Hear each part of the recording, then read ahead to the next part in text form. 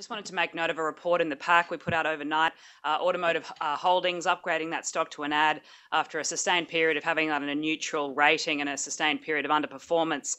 Um, just as a reminder for those who have, not looked at the stock for a while, 75% uh, of the stock's uh, earnings come from automotive retailing, just like AP Eagers, and 25% uh, from logistics. In automotive, they have about a 50% exposure to WA. And as a reminder, AP Eagers owns a 20% stake in the business. Um, basically, we see a couple of upcoming catalysts for automotive holdings. Uh, firstly, we do expect a pretty benign FY16 result. Um, I'm expecting a very soft uh, result from the cold logistics business, even below last year, which was which was soft in itself. Uh, but more importantly, um, the core automotive business, I believe, it will will post a very strong performance. Also, importantly, uh, the group uh, launched a performance improvement program back in February 2016 in relation to the logistics business. This was undertaken by PwC.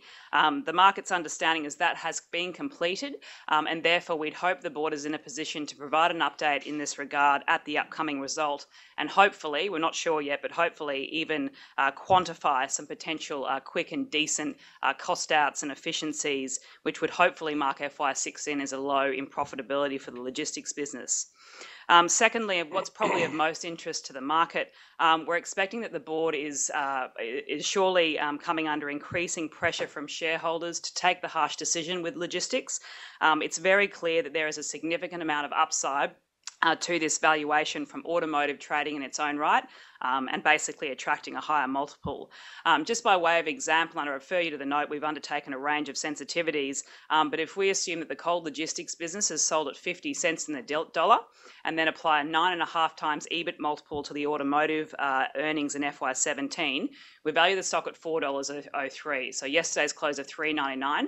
So that's my way of trying to say we see very limited downside in the stock at these levels. Conversely, if we apply around 12 and a half times EBIT, and that's still still at a substantial discount to AP Eagers, um, and we assume again logistics sold at 50 cents in the dollar, our valuation comes out at $5.37 versus the last close of $4. The risk is we actually don't know if the board's going to make the hard decision. Um, but what we what we do believe is in the short term at least, we believe we see that floor in profitability, which will be a catalyst from the performance review. And what we also know is that there is a heap of upside from the board taking this action, and therefore hopefully investor pressure on them in time um, will realise this result. And the view is widely held by the market. Uh, so we've upgraded to an add. Our price target is $4.51, so that's over 15% upside to our price target.